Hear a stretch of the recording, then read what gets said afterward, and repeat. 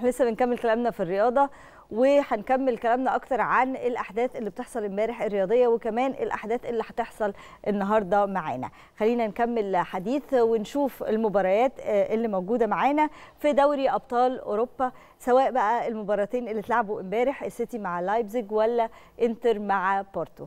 شفنا امبارح مباراتين مختلفتين. بنتائج كانت غريبة جدا ومفاجأة جدا. حقيقي جدا. كمان هيكون لنا حديث عن مواجهة النهارده اللي هتكون محط أنظار الجميع. مباراة ليفربول ضد ريال مدريد. هل في فرصة وأمل لفريق نجمنا محمد صلاح في تحقيق المعجزة والتأهل من ملعب سانتياغو برنابيو؟ ولا الكلام ده صعب؟ كمان هيكون لنا أيضا كلام عن كأس العالم للأندية بنظامه الجديد. فرص الأندية المصرية في المنافسات الإفريقية في إطار هذا الأمر. خلينا نرحب بضيفنا الأستاذ محمد عباس الناقد الرياضي اللي منور النهارده في استوديو صباح الخير. مساء أهلا بك يا أستاذ محمد. صباح الخير يا مصطفى وصباح الخير يا صباح النور يا محمد عليك. دلوقتي خلينا نبتدي كده محليا وبعدين نشوف. أه حظوظنا أهلي وزمالك هنعمل إيه اللي ممكن يحصل في دوري أبطال أفريقيا الفترة الجاية؟ يمكن الزمالك كالعادة بيزنق نفسه وكالعادة لعيبته مش مدياه فرصة إن هو يتنفس في الفترة الأخيرة مش عارفة إيه اللي بيحصل. الأهلي وبعد النتيجة اللي هو عملها ما هوش موفق قوي أكيد. وبقت نتيجته في أقدام الآخرين. مستنيين نشوف النتيجة اللي هتحصل الهلال وسان داونز هيعملوا إيه وبعدها إحنا نفوز في إيه عشان نوصل لنتائج إيه المرة دي عاملين كده ليه؟ نتائجنا مش معانا ليه؟ الفرقتين هم اللي حطوا نفسهم في كده. يعني خلينا متفقين إن الفرقتين كان عندهم يحطوا نفسهم في حتة أحسن والموضوع ما كانش صعب قوي كده في الأول. وبعدين هم اللي حطوا نفسهم في كده. آه فرصة الزمالك شوية أحسن إن انت فرصة في رجليكي مش مستنية حاجة من حد. بس حالة الزمالك تقلق الجماهير بتاعته فنفس القلق بتاع جمهور الأهلي. أنت مستني حد تاني وجمهور الزمالك مستني لعيبتي تعمل معجزة ترجع تاني. الأهلي مستني مر... حاجتين لازم تكسب مستني حاجة. أنا لازم أكسب. يخسر منطقي إن الأهلي هيكسب. القطن الكاميروني الستة بونت بتوعه لأي حد في المجموعة بيتروح عادي. وآخر ماتش هيكون هنا الضغط بتاع جماهير الأهلي وعمل عبي ولازم أكسب سواء الزمالك قدام المريخ أو الأهلي قدام الهلال هم الله تمام. المشكلة كلها في الماتش الجاي. يعني إحنا يوم الجمعة والسبت الجاي ده نخلص الموضوع يعني أو يوم الجمعة الجاية يعني. الزمالك يكسب بلوزداد يخش. الموضوع خلاص يعني هيبقى قريب جدا. الأهلي مستني. يكسب أو يتعادل.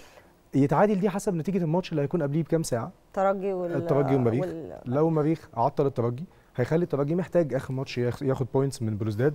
فهيكون الموضوع برضه لطيف بالنسبة لنا نتعادل إنما لو الترجي من عندنا على الأقل متنفسين. الترجي كسب المريخ لا خلاص هو متنفس واحد والموضوع هيبقى خلص. ويعني الترجي أقرب إنه يخلص قدام المريخ هو رايح نفسه. الزمالك هيكون ماتش صعب قوي بلوزداد ماتش صعب جدا عشان حالة الفريق. طب. ثقة غايبة اللعيبة كلها مش فايقة موضوع صعب جدا. الأهلي موضوع بالنسبة ما أعرفش شايفه موضوع ممكن يكون أسهل شوية رغم الهزيمة كانت قوية جدا. يعني على الورق العكس. الورق صعب ومستني حاجة من حد وكل حاجة بس سان داونز مش الفريق. اللي بي اللي عنده ثقافة حتى إن هو يريح لعيبته أو يلعب لعبه مش لعبه. لا ما بيلعبش لعبه تجاري أصلا. صن داونز فريق بينزل ينبسط وبيلعب كورة. طول يعني طول الفترة اللي فاتت شايفينه كده. حتى هو ما بياخدش ال Champions هو بيبقى دايما بيستمتع. فهينزل يستمتع قدام بيمتع الجمهور. هو فريق ممتع بصراحة. يعني بعيدا إن هو نتائجه مع الفرقه المصرية مش أحسن حاجة لينا يعني. بس هو فريق ممتع جدا. فهينزل يلعب كورة قدام الهلال. ما أعتقدش الهلال سهل يطلع بمكسب. رغم إن الهلال حالته كويسة جدا دلوقتي حتى في كأس أول ماتش ليه في البطوله العربية برضه عمل ماتش كبير كسب ثلاثة بس صن داونز فريق صعب. الهلال لو عملها لا هيبقى خلاص يست... يعني يستاهل. الموضوع صعب. هو هو يست... يعني لو لو قدرت تكسب صن داونز أنت فريق قوي. يعني تستاهل يا معلم خلاص. مبروك وكمل بقى جون. إنما الزمالك الموضوع قدام بلوزداد هو آه ماتش آه وفي رجلي أنا مش مستني حاجة من حد وكل حاجة بس الزمالك الحالة صعبة جدا. فكرة مش مش كورة مش إحنا ما بنتكلمش هنا tactics وفنيات و... لا لا خالص. هي الموضوع 50% أصلا نفسي ثقة. اللعيبة مش واخدة الثقة دي. حتى الثقة اللي هم جابوها بينهم من جمهورهم في ماتش ترجي بيرجعوا تاني يخسروها لما بيخسروا من إنبي. فالموضوع بيبقى أصعب تاني. محتاج اليويو ثقافة اليويو اللي موجودة أنت مش واقف على رجلك خالص وحطيت كل الموسم دي بتبقى مشكلة كبيرة قوي أنت حطيت الموسم كله في ماتش واحد كل اللي فات واللي جاي وكل حاجة هي على الماتش ده. يوم الجمعة لعيبة الزمالك بتلعب على ال season بتلعب رهان على ال season كله. كسبت الجمهور معاك بقى وهيسامحك على حاجة. جامد قوي لوحده. آه يعني هو بص أنت تلعب season كله على ماتش دي صعب قوي صعب صعب جدا. يعني أنت حتى الحمل على اللعيبة نفسها مش هتدي اللي عندك كله. طبعا. مش كل الناس عندها الشخصيه إن أنا أبان في الماتش ده. طيب إزاي تابعت تأهل مانشستر سيتي على حساب بنفيكا؟ آه مانشستر سيتي على لايبزيج. آه مانشستر سيتي امبارح آه حفلة. مم. 7-0 حفلة. الراجل هالاند ده آه، أسرع واحد يوصل ل 30 و 33 جون في آخر الماتش يعني اكتشفنا. الأول عملنا حفلة إن هالاند وصل ل 30 جون في 25 ماتش. سريعة جدا مش عارف إيه. آه، اكتشفنا بعد الماتش انه وصل ل 33 جون. يعني الموضوع سهل يعني الدقيقه 53 أو 54 هالاند جاب خمس تجوان. فالموضوع سهل جدا. آه امبارح في في حاجات على فكرة الناس ما خدتش بالها منها. يمكن إحنا الناس اللي بتتكلم في الكورة شوية هيكونوا شافوها امبارح. إن مثلا الحكم آه، في أول الماتش الموضوع كان صعب شوية من الحكم. ضربة جزاء يعني مجانية شوية للسيتي وبعدين في طرد آه، غريب جدا لادرسون الجول بتاع السيتي. بس الحاجات دي ما تخليكش تتغلب سبعة. ودي شخصية فريق كبير. ده ده ياخدنا للماتشات التانية حتى لو لو قست على الموضوع ده. شخصية الفريق كبير. الحكم ممكن ما يجيش معاك في قرار ممكن ما تمشيش معاك في واحدة تيجي في العارضة. أنا لو كبير هكمل بنفس اللي بعمله. إنما امبارح قرار أو اتنين لمصلحة السيتي لايبزيج اتهز خلاص خلاص بقى خلاص. والتانيين ما ينفعش تهز قدامهم دقيقة. يعني السيتي. ده لو غلطت دي خمس الخمس تجوان لو تاخد لو حد واخد باله إن هالاند ما فيش assist مباشر ليه بعيد عن ضربة الجزاء. الأربع تجوان التانيين ما فيش كورة أنا بديها لهالاند قدام الجون يجيبها. لا هو راجل واقف في مكان صح ومستنيك تغلط؟ اغلط بقى. آه، اغلط. جدع يغلط هو هيجيب جون واثنين وثلاثه واربعه وعادي جدا. هو دايما يعني دايما جاهز. والسيتي بفريق لو زهقت قدامه دقيقة هتغلط مرتين ثلاثة في الدقيقة دي وهيعاقبك بجون واثنين في الدقيقة دي. مم. هو بيلعب هو هيفضل يباص طبعا أسلوب جوارديولا يعني الشهير. حتى مع برشلونة هو هيفضل عندك ومقدم الملعب 30 متر من ورا ورايح عليك وباص وشوطة وباص وشوطة وعرضيات هيفضل معاك. أنت هتزهق. هتيجي في وقت آه، لعيبتك هتفقد تركيز 1% هتسيب مربع فاضي آه، ثانية.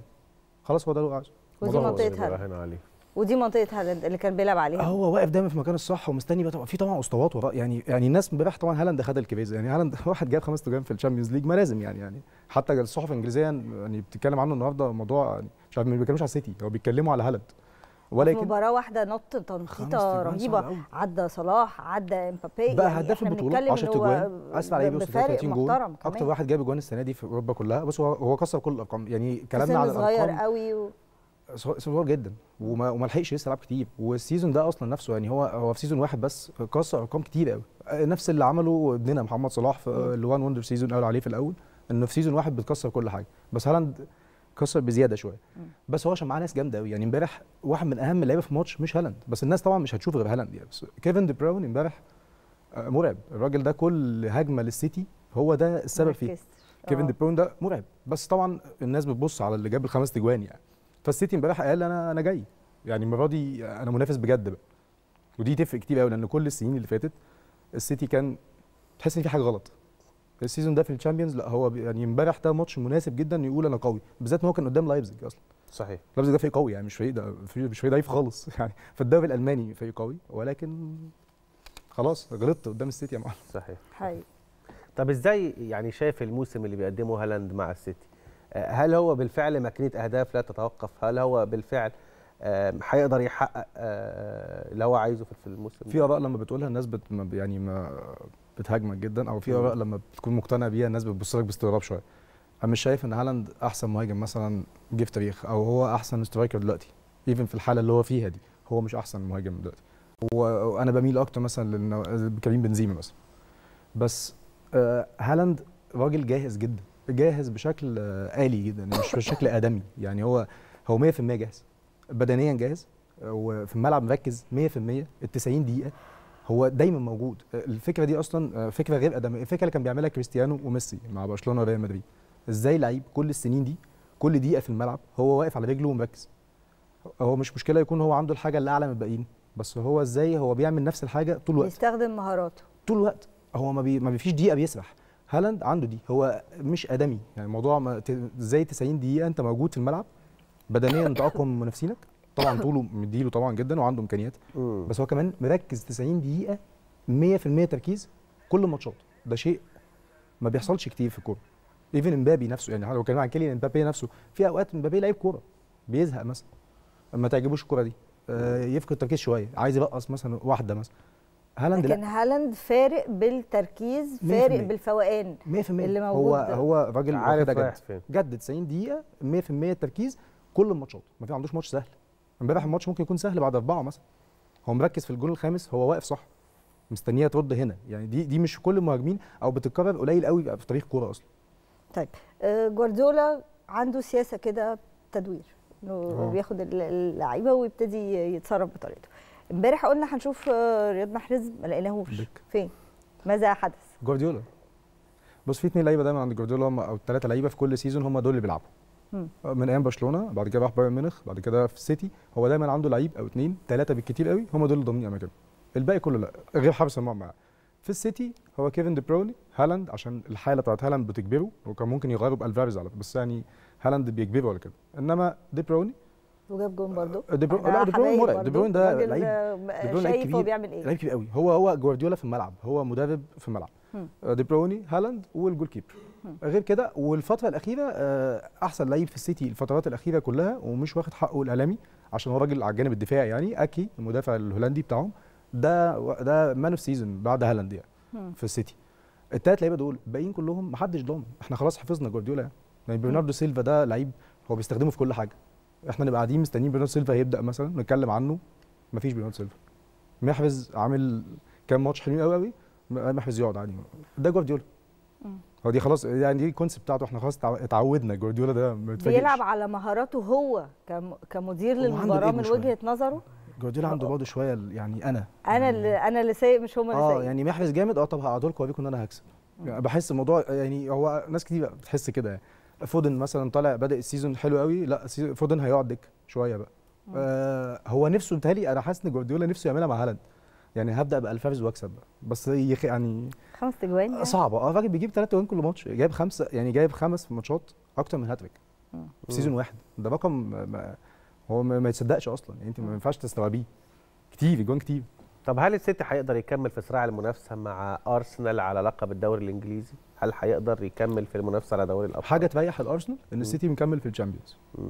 لو سألت جوارديولا أو سألت أي مشجع بي بيحب السيتي بس مش لازم يكون بيشجع السيتي هيقول لك آخد الشامبيونز ما آخدش الدوري. هم بياخدوا الدوري زي كل اثنين وخميس يعني السنين اللي فاتت. بس عندهم مشكلة مع الشامبيونز. وجايبين جوارديولا والصفقات كل season علشان ناخد الشامبيونز بقى. المشروع ده خلاص ده ال target بتاعه هياخد الشامبيونز ليج. الأرسنال ما عندوش حاجة تانية. حتى اليوروبا ليج مش مشكلة. الدوري يرجع بعد 2004 يعني أنت بتحكي في 20 سنة. الأرسنال هدفه الدوري. فمصلحة الأرسنال الوحيدة إن السيتي التركيز كله على الشامبيونز. يعني في لو في ماتشين ورا بعض مهمين في الدوري وفي الشامبيونز متهيألي هو ممكن يريح هالاند نفسه ويريح لعيبة كتير. أنا مركز في الشامبيونز ليج. وخلاص هي هانت بالنسبة له. ماتشين دور الثمانيه قبل النهائي وماتش في النهائي. وهو مرشح في الشامبيونز ليج هو مرشح الأجهز. مش مش الأول بس الأجهز. لأن الأول إحنا عارفين الشامبيونز ليج دي بطولة مين يعني هو في في فريق كده بيعرف ياخد الشامبيونز ليج كل سنة. آه، مرشح الاجهز بعدين. طيب خلينا نعدي بسرعة عشان إحنا فاضل لنا خمس دقايق وعايزين. نتكلم عن حاجات كتير قوي. الانتر. وبورتو إيه اللي إيه اللي حصل امبارح؟ وعشان نلحق بقى آه، إنتر بسرعة إنتر إنتر. وإنتر ميلان عمل اللي عمله ميلان الأسبوع اللي فات قدام توتنهام. إنتر عمله امبارح تاني مع بورتو ال- ال ugly football كرة القدم الدفاعية الإيطالية جميلة اللي أنا بحبها أصلا شخصيا يعني. وقدر يقفل على بورتو. بورتو ما عملش هجمات خطيرة غير في آخر الماتش بس. دي الكوره أنا جبت جون ونمت عليه. الكورة القديمة اللي عارفينها. بس انت كسب بالشخصية. بس يروح بعيد سواء إنتر ميلان أو ميلان الموضوع صعب. طيب. طب لو رحنا لماتشات النهارده بدأنا بمواجهة ليفربول ابننا الجميل محمد صلاح. هل في أمل يعوض الهزيمة ولا الموضوع صعب نظرا بس صعب. صح إنت وأنت بتقدم قلت المعجزه الموضوع صعب جدا. صعب على على باسباب كتير قوي. يعني خلينا نقول ان هم ثلاث أسباب واضحين جدا. حالة ليفربول هو مش جاهز أصلا. وحالة ريال مدريد فريق ما بيتغلبش على ملعبه score مش ده العادي بتاعه في الشامبيونز ليج. والحاجة الثالثه إن النتيجة دي أصلا ما بيتراجعش منها كل موسم مثلا. يعني صعب قوي النتيجة كبيرة على ملعبي. الفرق كبير قوي عشان الناس بت- بتشابه يعني الموضوع. فرق كبير ما بين ليفربول اللي رجع في النتيجة قدام برشلونة قبل كده وليفربول اللي هيلعب النهارده مع ريال مدريد. هو ما بيلعبش على الأنفيلد اللي هو ملعبه. ليفربول ساعتها ما كانش معاه صلاح بس ساعتها كان في فريق كامل مصدق في ده. دلوقتي مش موجود الفريق ده في غياب ثقة نفس اللي قلناه على فكرة الزمالك الفريق نفسه مش مصدق في نفسه عنده مشاكل. وريال مدريد أجهز قوي الراجل الخبير اللي بيدرب ريال مدريد ده ما يخليكش ترجع عليه في نتيجة 5 2 يعني. صعبة جدا. أنشيلوتي دي بطولته. دي ماتشات النهارده لأن الماتش الثاني محسوم. مرة تانية بنرحب بالضيف بضيفنا ناقد رياضي الأستاذ محمد عباس والحديث مستمر على مباراة ليفربول. كنا بنتكلم هل نجمنا محمد صلاح هيقدر يعوض الخسارة ولا ده صعب نظريا؟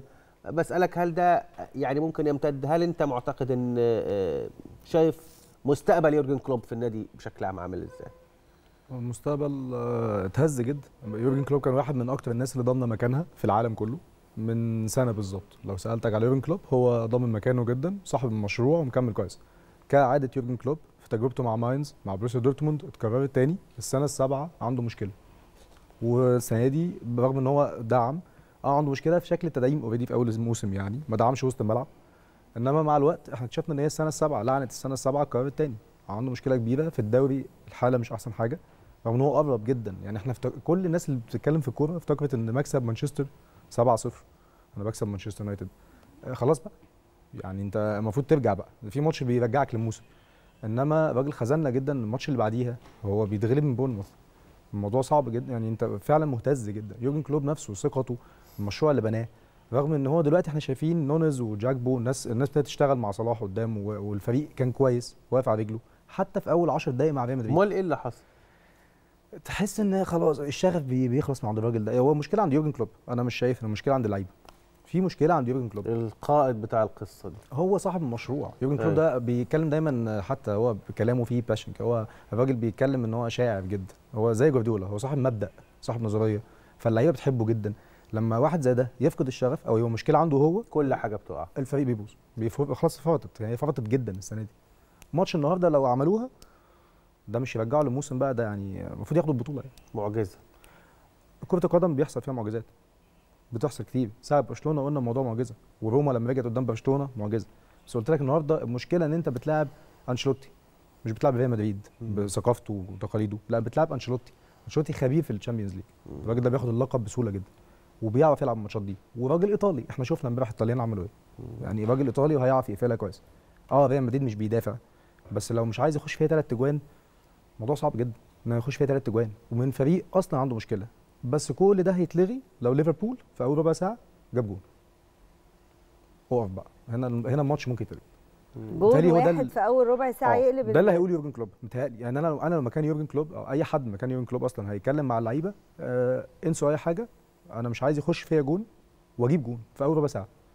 أهز ثقة الجماهير. جماهير ريال مدريد أو الجماهير الإسبانية عامة هي جماهير لطيفة جماهير الكراسي. يعني الناس ما بتشجعش زي الطليان مثلا أو ما بيقوموش يولعوا الملعب يعني. فجماهير هادية شوية. واثقة في فريقها نتيجة كويسة. اللعيبة نفسها واثقة. لعيبة ريال مدريد مش اللعيبة ال nerve عندها عالي.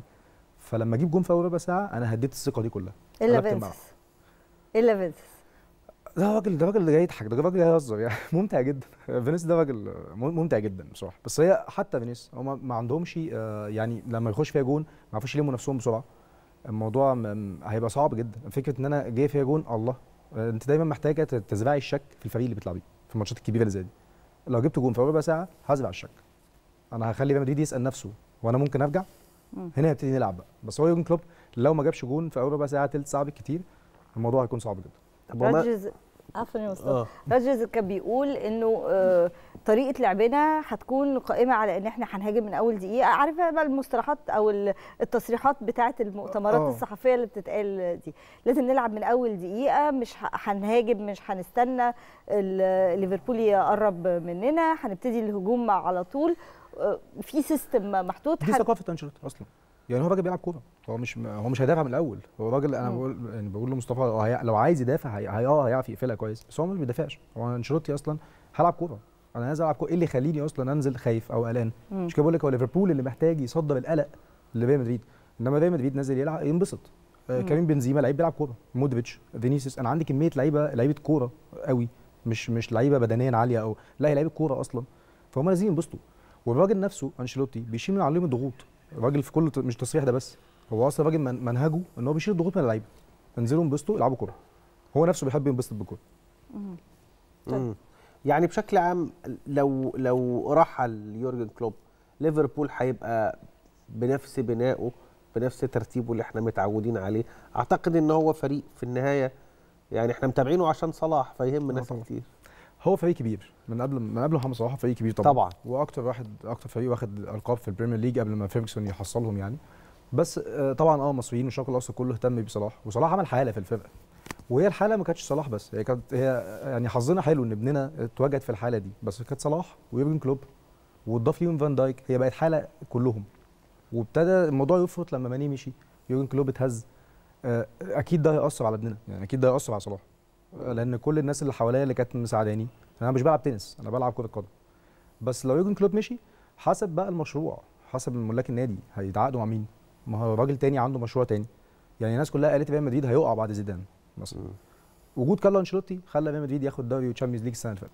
لأن كارلو أنشيلوتي آه السيتي والله طب آه مشروع ابتدى يتهز الثقة فيه مش عارف إيه. لا هنجيب جوارديولا. نكمل. آه بايرن ميونخ. طبعا إحنا ما اتكلمناش عليه أصلا ده يعني ده فريق آه كل ما همشي مدير فني بس بي عندهم مشروع عندهم vision عندهم رؤية للمستقبل فبيجيبوا مدير فني زي ناجلزمان مثلا الراجل السنة دي في ال Champions يعني عامل حاجات خزعبلية فبيكمل بايرن ميونخ. فأنت حسب ليفربول الملاك بتوعه هيتعاملوا معاه ان في رؤية مستقبلية إيه اللي هيحصل بعد يورجن كلوب؟ لأن لعيبة لا موجود لعيبة يعني موجود سبع ثمان لعيبة مثلا يخلوه فريق فريق class A بس هل هم هي هيحافظوا على اللعيبة دي ويجيبوا حد عنده مشروع ويدعموه باثنين ثلاثة كمان؟ ولا الموضوع هيفرط ولا هو قادر يديرهم ولا لا؟ ويورجن كلوب ممكن يرجع. ممكن يرجع في الموسم. فكرة إن أصلا ان هو يرجع النهارده يعمل ماتش كويس. مش لازم يكسب بس يعمل ماتش كويس يعني والنتيجة كويسة ويخرج باحترام يعني. دايما في الكورة كده ما تخرجش وأنت رامي منديل يعني. آه، اخرج وأنت بشكل محترم. وكمل ووصل لل Champions League في الدوري. ممكن ياخد سنة تامنة لأن هو رصيده مع الإدارة ومع جماهير ليفربول تكمل. وابننا محتاج ده يعني صحيح. صلاح محتاج إن هو ي... ما يندمش على يبقى قرار إنه يجدد. مستقره آه طبعا آه، الماركة والصحف الأسبانية سايبة الدنيا كلها وكلامها كله على صلاح طب. مستنيين المباراة النهارده ويشوفوا إيه اللي هيحصل مع صلاح بيقولوا إن ال- ال- الفريق بيسبب مشكلة لصلاح إنه لم يتغلب عليه ولا مرة في يعني كان بقى من أيام ما كان معاهم في روما مم. بعدين ودلوقتي في ليفربول اتقابلوا ست مرات خمس مرات. الفرق آه، هي اللي اتهزمت وحصل تعادل بره. هل هتفضل على طول آه، برشلونة عاملة عقدة وهتوقف لنا الغلط التقدم الغلط مش من عند ابننا. إحنا ابننا ما بيغلطش. إحنا ابننا زي الفل. لا هو حظه وحش. في مرة فيهم بيلعب مع روما. مش مش في أحسن حالة ما يكسبش ريال مدريد. المرة الثانية ريال مدريد عفوا آه يتصفى الدقيقة 20 ولا يتصفى أول الماتش يعني. ما يعني آه، ما لحقش يلعب. المره الثالثه لا ليفربول بيكسب مرة. وبعد كده ال- المرة دي ما هو صلاح عمل أول 20 دقيقة تاريخيين يعني. مم. يعني الراجل ما هو جايب جون وأسيست والدنيا لطيفة جدا. بس الفريق ما هو أنا مش بلعب لوحدي لسه بقول المستوى ده مش تنس. صحيح. فالفريق مش أحسن حاله مم. آه، يمكن آه، يبقى يكون يكون الحل إن صلاح يروح لهم بقى. يعني يلعب معاهم بقى يلعب الناحية الثانية من فينيسيوس. مطروح؟ آه هم ما فيش فريق في العالم ما يتمناش محمد صلاح بس خلينا المصريين ما بيحبوش برضو يدوا الوضع قوي لنجمهم يعني. لا إحنا لا لازم نفهم ان عندنا ده- واحد من أهم خمس ست لعيبة في العالم. بالظبط يعني. فأكيد هو هم نفسهم يتمنوا. ده هو اللي ما اللي ممكن يكون مش عايز. بس ريال مدريد وبرشلونة آه، وفي تقارير إسبانية كتير قالت إن برشلونة بالذات كان كان بيفكر في صلاح كتير. صح. ومنطقي إن ريال مدريد أصلا أنا شايف يعني أنت محتاج أصلا جناح في الحتة دي. يعني فينيسيوس وبنزيما وملعب معوج شوية بتاع ريال مدريد. لأن الناحية الثانية دي ما فيهاش حد. صلاح بقى وياخد تشامبيونز وبالون دور ويبطل يعني. خلينا نشوف اللي جاي. كلنا نتمنى طبعا التوفيق لابننا محمد صلاح. هو في النهاية واجهة لمصر والمصريين ومن أهم لاعبي العالم. بشكرك يا أستاذ محمد. محمد عباس الرئيسي شكرا جزيلا. ليك. نورتنا وحللت معنا كل ما يعني جاء في الأخبار الرياضية. شكرا جزيلا. شكرا. شكرا.